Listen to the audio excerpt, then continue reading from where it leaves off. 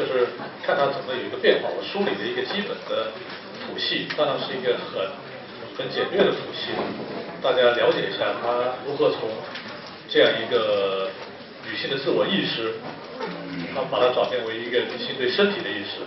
发展为一种下半身写作，是吧？最后出现尹碧川的啊那种那种那种诗歌，大家看一看，了解一下，好吧？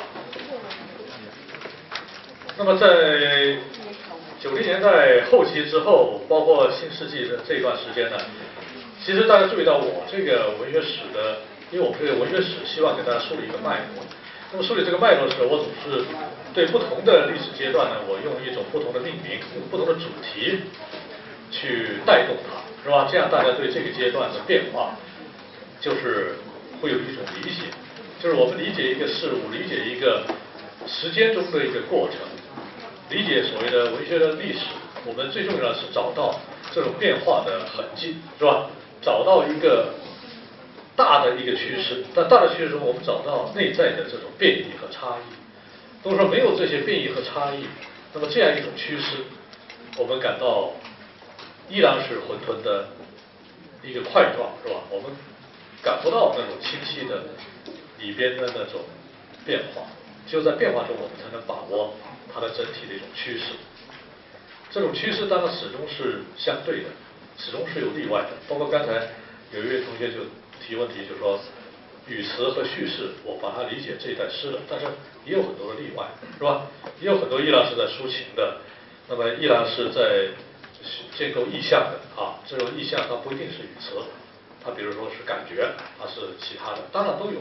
就任何一种对历史的概括，对事物的概括，它都会有例外。我们主要说，你从哪一个角度，你去给出你对这个历史的把握，对这段历史的一种揭示，是吧？你觉得哪一种揭示更能够具有阐释力？主要是我们是以这种的立场和这种的。呃，视野来展开一种历史，所以我叫做多元分化与后文学时代的到来，这也是我对这段历史的一种理解，文学史的理解。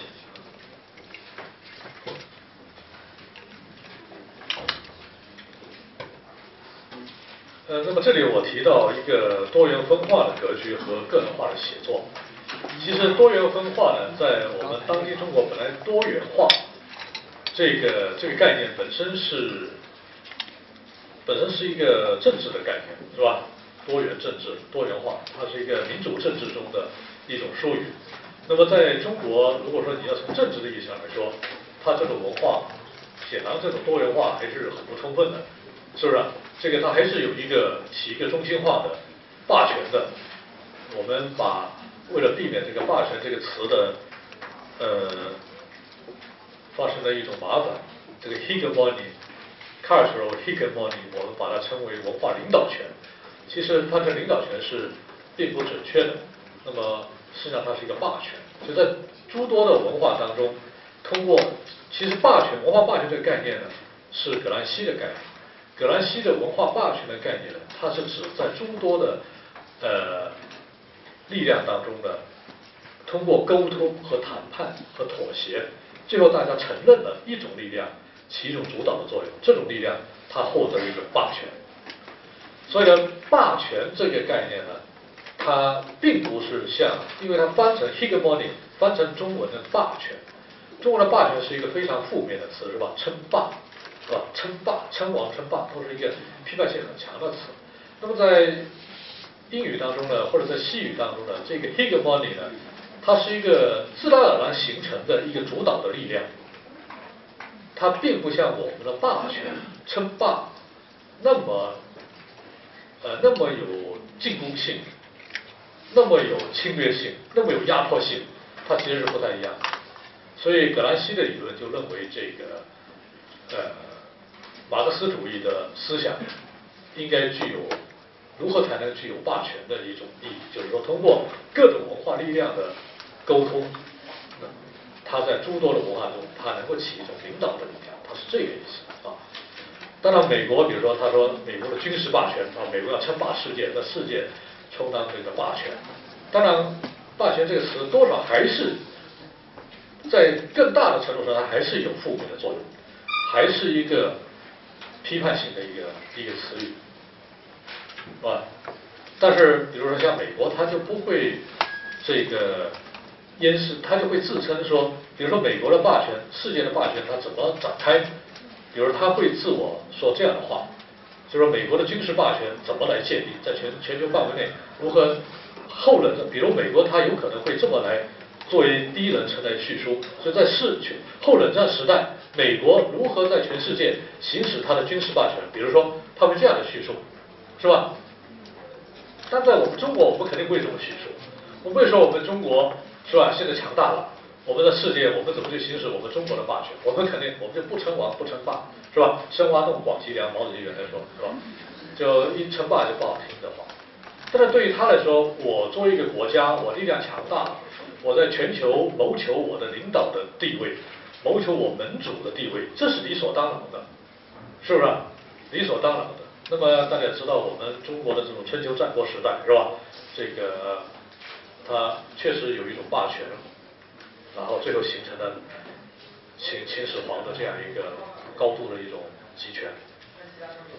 当然，就是说这个概念，它的政治含义太强了啊，这里我不多去讨论它。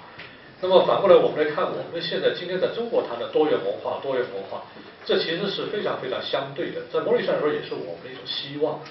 它并没有真正的多元化，因为这些多元它是一个意外的，或者说勉强的，不得不如此的，无可奈何的出现的这种多元化。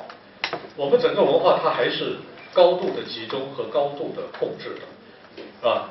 你比如说，我们所有的媒体、电视台、报纸，它都是被控制的，是吧？我们的新闻的审查制度、出版制度还是非常严格的。我们的所有的出版的文化各种单位的领导都是被任命的，是吧？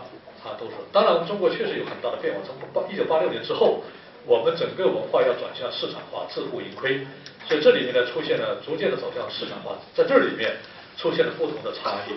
市场有它的需求，市场是合理的，所以当今中国的这种矛盾就在一方面，政治它是有它一以贯之的这样一个领导的一种地位，另一方面市场又是合法的，所以政治的合法性和市场的合法性它是并存的，但是我们的政治是集中的。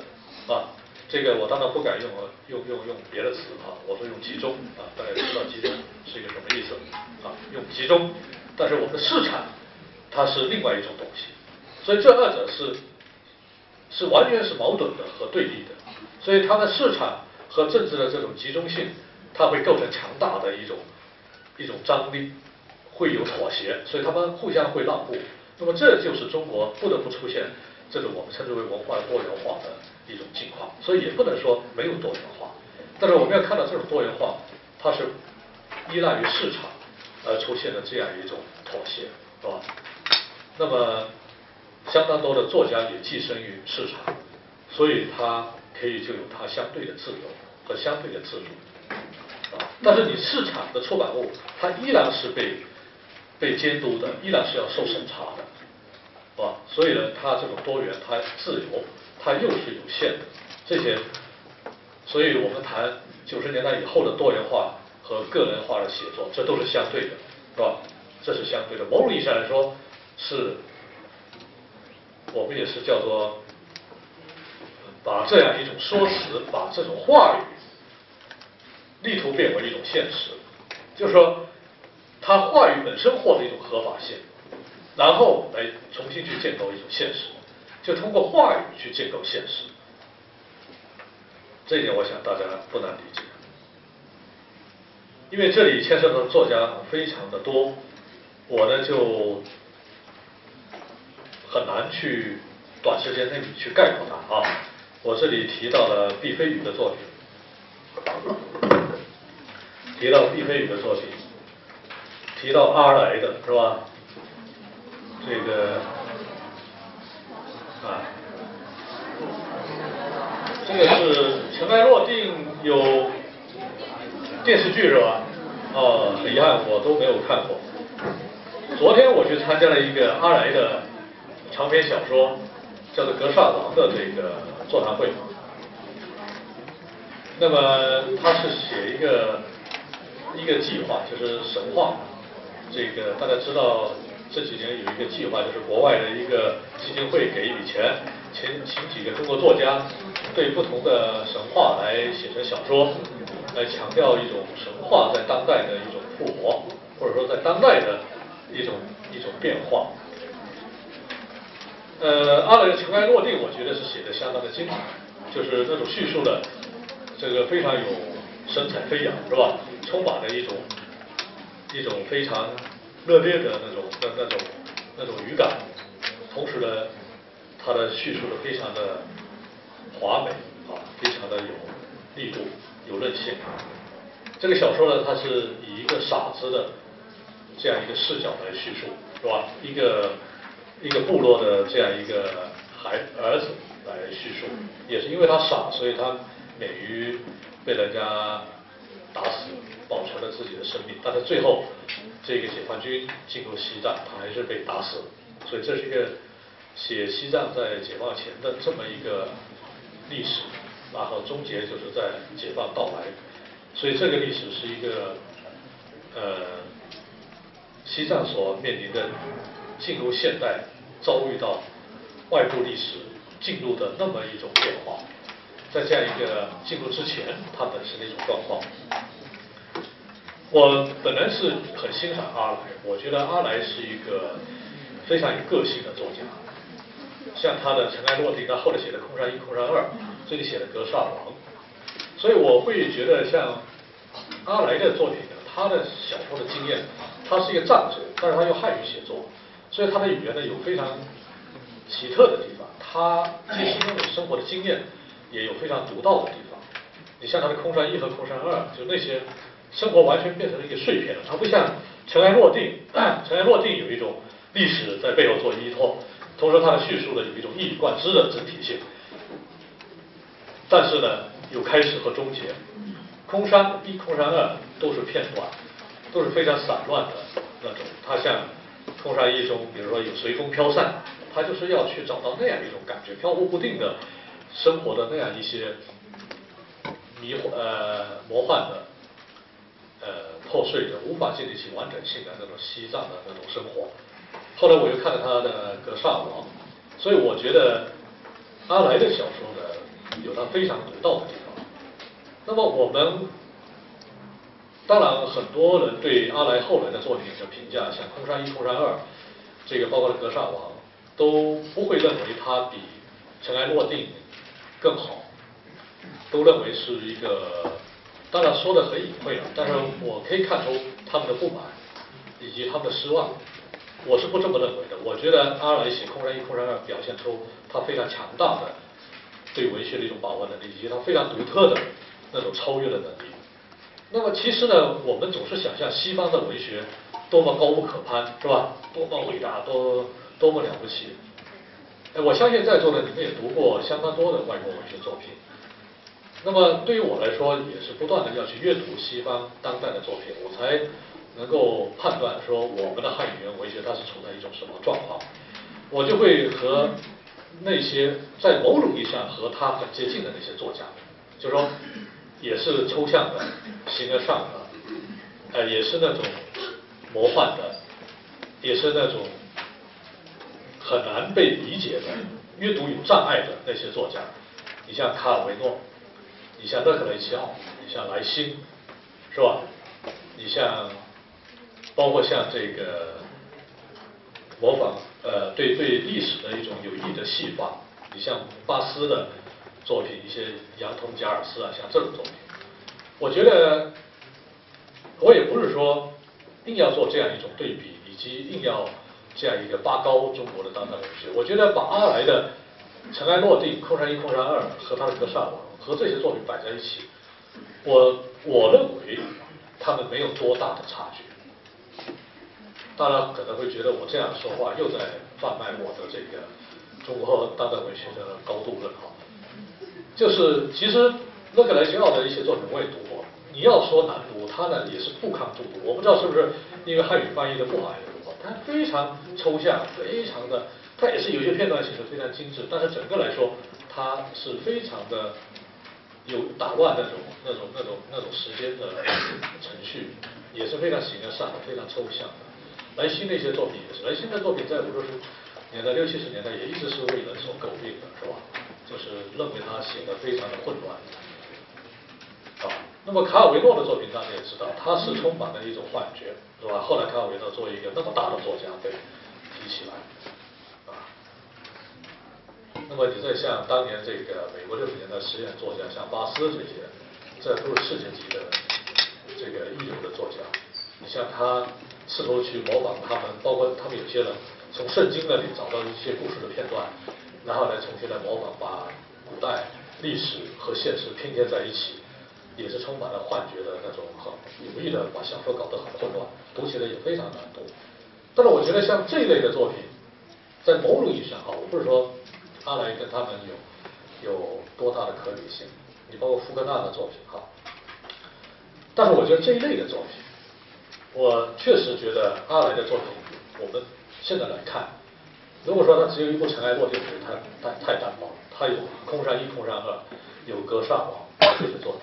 我觉得他是一个非常饱满的作家，非常饱满的作家，而且那种对西藏藏民生活的那种穿透，对他们历经的现代性进程的那种把握，他们生存的那种困惑，所历经的那种悲剧，我觉得这些皆是是非常非常深刻的，这是我的一种看法啊。所以我觉得有时候不一定要去盲目去崇拜。你说获得诺贝尔奖的那些作品，库切的尺。到底有多伟大，是吧？就写一个中年教师想想搞一个女学生，结果身败名裂，是吧？然后弄到一个农场去，是吧？这故事也很简单，是吧？那种当然那种痛楚、那种绝望感写的非常的透彻，如此而已，是吧？就不是说多么高不可攀的东西。为什么高先生的灵山就是狗屎，就是那么低，而他的这个库切的尺就会那那那么高大？我觉得。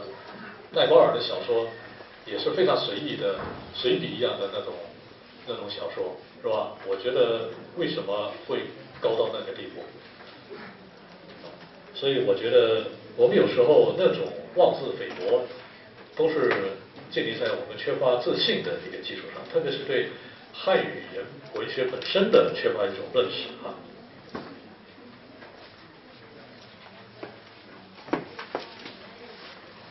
呃，其他几位作家我就不多谈了。可能这一章里边，麦麦家，麦家的小说呢，呃，大家知道他去年获得获得这个毛主席奖，那么同时呢有他的《暗算》和《风声》，《风声》电影在座的都看过吧？看过啊。当然，麦家的那个小说呢，可以看他吸取了很多的元素。一方面有推理小说是吧，恐怖小说；另一方面有非常形而上的像博尔赫斯的小说。他曾经写作那种描写那种黑暗，他有他非常独到的地方。